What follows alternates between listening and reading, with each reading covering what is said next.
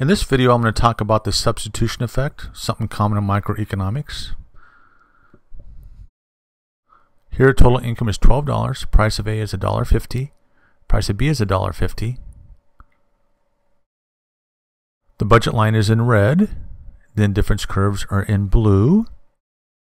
Price of B falls to $1. We can use the substitution effect to derive the demand curve. So the consumer will consume at this level where the indifference curve and the budget line touch, or 5 of A and 3 of B.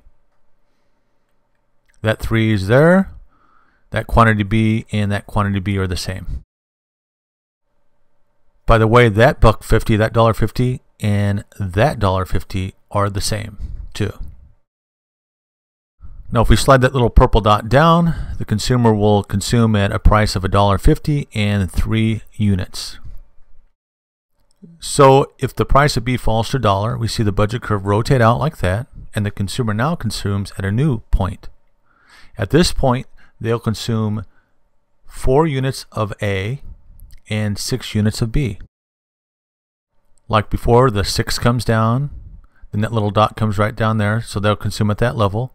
That dollar is the same as that dollar.